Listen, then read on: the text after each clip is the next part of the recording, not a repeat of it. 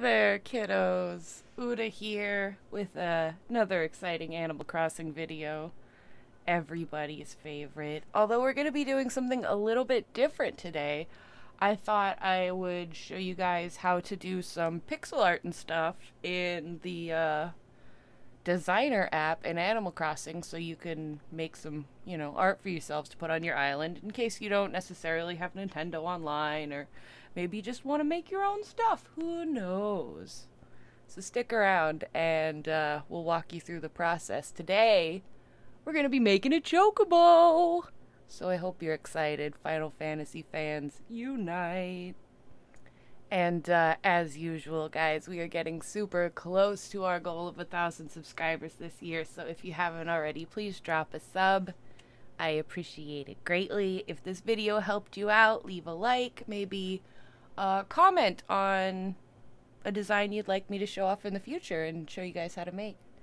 Alright, let's get into the art.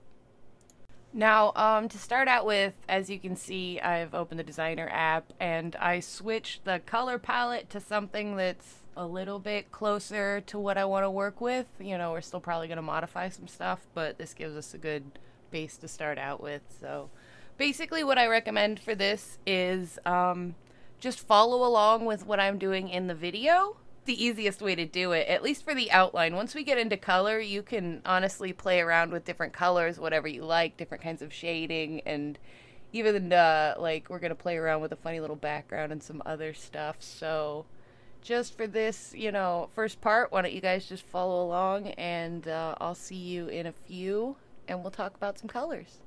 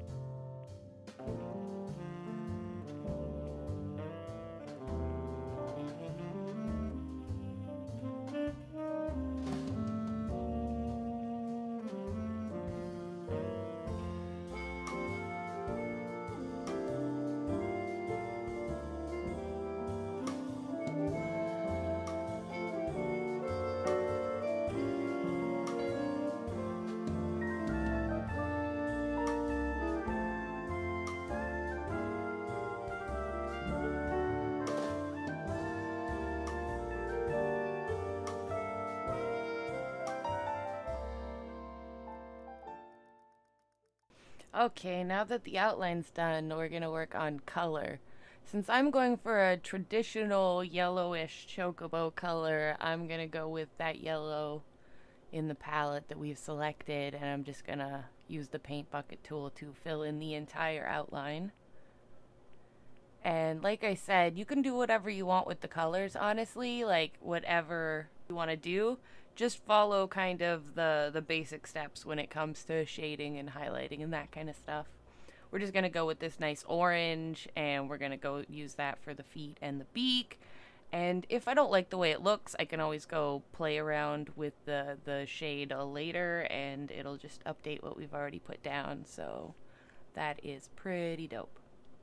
For the shading, um, basically the idea is whatever color you're using, since I'm going to be using this yellow, I'm just going to go like a shade that's a little bit darker, maybe a little bit more orangey. And that's what I'm going to do the shading in. So if you're doing the chocobo in a different color, say you're you're doing it in like uh I don't know, purple. If you're if you're going to do it in like a I don't know, like medium purple, not too dark, not too light then when you do the shading, you'd want to use a, a darker purple for the shadows. So you can you can apply the technique to whatever colors you're doing. okay. So let's keep following along and see how this chocobo comes out.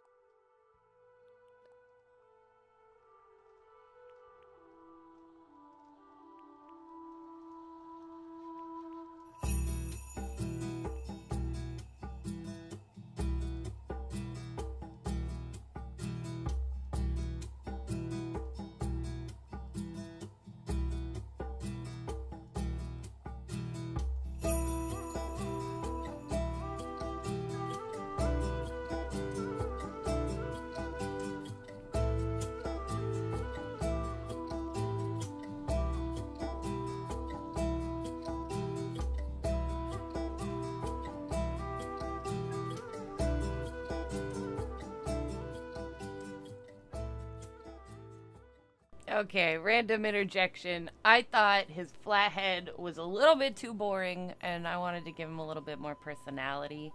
So I've just added kind of a little spike here in front, and this is another example of you can take the base design and kind of play around with a little bit yourself, not just with colors, but also sometimes with the shapes, and change it up a little bit to get something that you're personally more happy with. So if you like the flat head chocobo, you can use that, or if you like this spiky head one, go ahead and use this.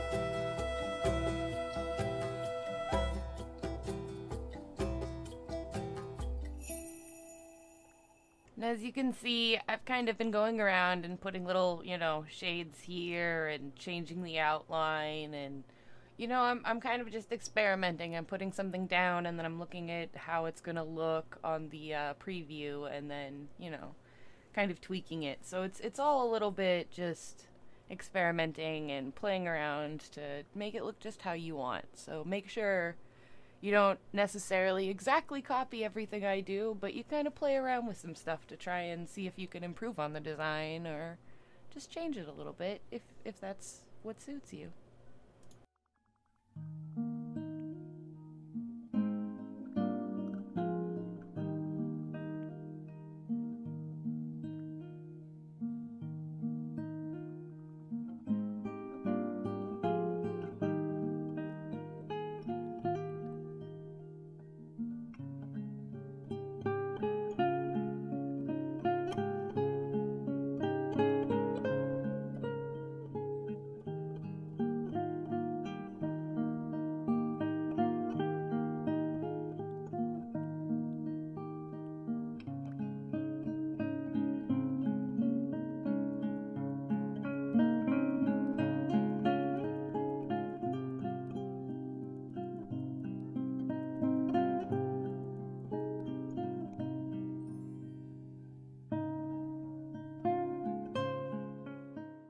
There you go. That's, you know, how to make a little pixel art chocobo in Animal Crossing. And you can use this design on clothes. You can do it in the Pro Designer if you want, and you can put it on all sorts of clothes. You can display it on the walls, on the ground, on canvases, use it as your flag, all sorts of fun stuff.